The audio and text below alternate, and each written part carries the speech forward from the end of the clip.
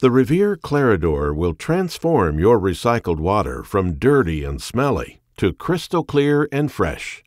The unique Clarodor design mixes a custom blend of coagulants and polymers in a turbulence array that thoroughly mixes the chemistry and wastewater with no moving parts.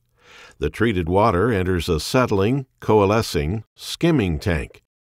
Ozone is pumped in at the bottom, creating both a dissolved air flotation DAF separation effect and simultaneously disinfects the treated water.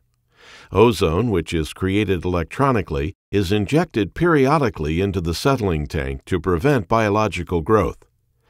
The splitting process causes most solids to drop to the bottom of the tank, where they are periodically purged into a hopper for disposal. Lighter contaminants rise to the surface, where they are skimmed off.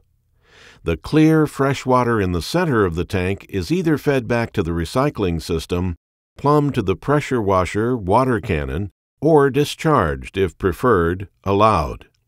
Clarodor, from Riveer, the leader in equipment washing and wastewater systems. Contact your Riveer representative today.